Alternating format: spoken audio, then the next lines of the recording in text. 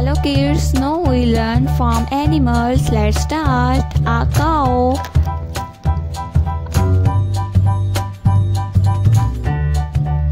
A zip, a giraffe. This is a giraffe. A dog. A dog is also a pet animal.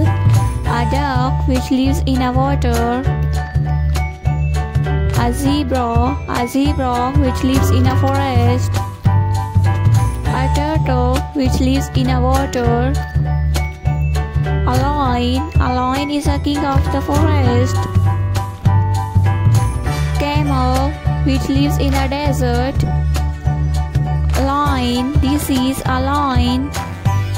A horse, this is a horse.